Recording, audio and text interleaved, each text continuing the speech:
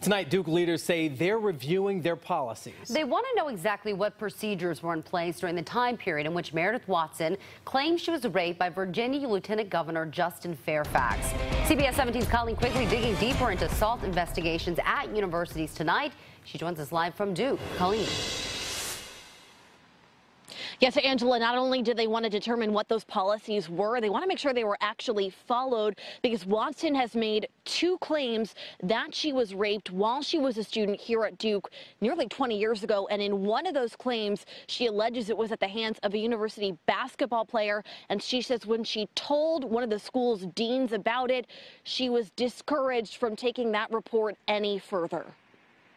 It happens more than anybody would like to imagine. Kathy Hodges advocates for assault survivors with the Durham Crisis Response Center and often partners with Duke University's Women's Center. We work with students. Um, either they've called us and um, have set up an appointment, or we might have met them in the emergency room when they've gone for a sexual assault examination. On Monday, Duke said it's trying to determine what the university's sexual assault policies were nearly two decades ago after a woman, Meredith Watson, came forward last week claiming she was raped by the now Lieutenant Governor of Virginia, Justin Fairfax, and prior to that by a Duke basketball player. She claims she was assaulted by Fairfax in 2000 when they both were students at Duke. Nationwide, colleges' sexual assault policies have come under the microscope in recent years.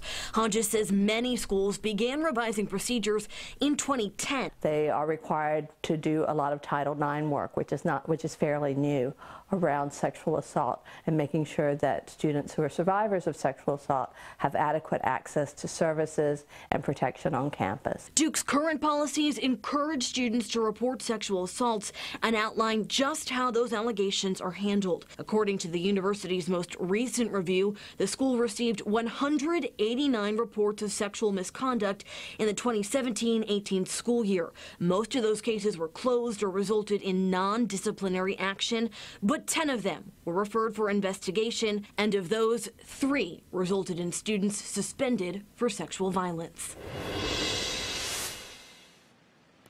Today, Watson's attorneys released another statement saying that she would be willing to testify if Virginia legislatures went ahead with hearings of impeachment against Fairfax. Meanwhile, the lieutenant governor says he is not guilty of these allegations and he will not be resigning. Reporting live in Durham, Colleen Quigley, CBS 17 News.